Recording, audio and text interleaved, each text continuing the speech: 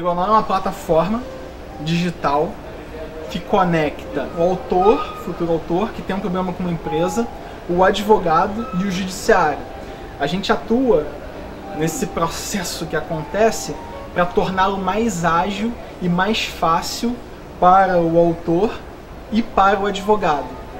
E o nosso modelo de negócio, a gente consegue atender gratuitamente o autor e o advogado vê muito valor no que a gente oferece para ele.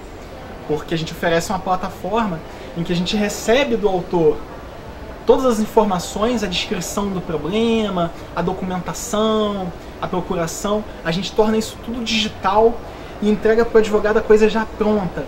Então ele já tem ali um rascunho de minuta e ele consegue construir a minuta já baseado naquele rascunho, ver os argumentos jurídicos, já está com toda a documentação, já tem todos os dados, a procuração, o contrato de honorários celebrado entre ele e o autor, e simplificando o processo de distribuir e ajuizar uma ação.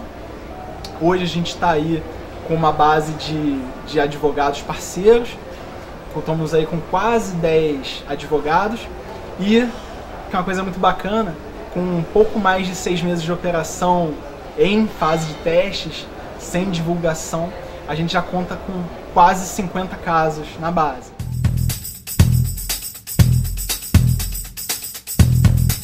A multidisciplinaridade ela é muito importante, se não fundamental, para um profissional que quer atuar em inovação, porque também é útil para entender o ponto de vista de quem está do outro lado, do cliente, ou de uma área de negócio, ou de um segmento da, da indústria ou do comércio.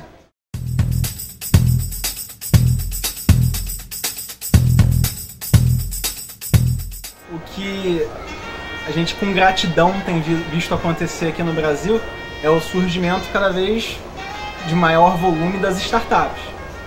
E as empresas startups, de uma maneira superficial, mas que é importante para entender, elas surgem do pequeno empreendedor, de uma ideia do pequeno empreendedor.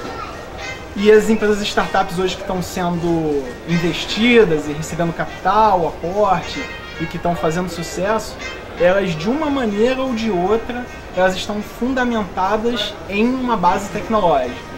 E muitas das vezes, além de estarem fundamentadas em uma base tecnológica, elas trazem alguma inovação que desbanca completamente as empresas grandes.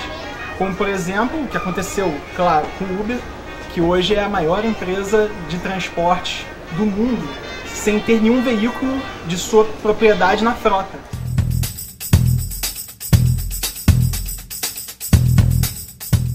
Hackathon ele é um evento que visa uma inovação aberta, que as empresas promovem e que ao mesmo tempo elas desenvolvem ou popularizam suas tecnologias ou, em outros casos, resolvem seus problemas internos.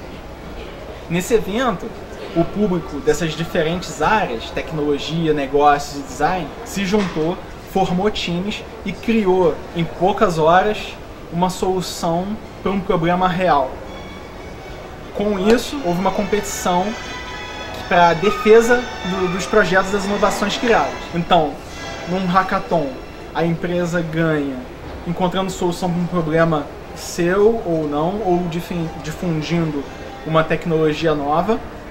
O público, os jovens, ganham aplicando seus conhecimentos da faculdade ou seus conhecimentos de sua carreira profissional e conhecendo uma nova tecnologia ou colocando em prática uma ideia que já estava na cabeça.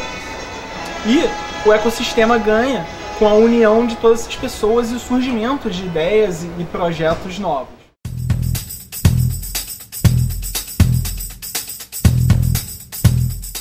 É, a inovação no Brasil ela está amadurecendo, mas se você levar como comparação o próprio Brasil, há uns 4 ou 5 anos atrás a gente evoluiu exponencialmente, a gente evoluiu substancialmente.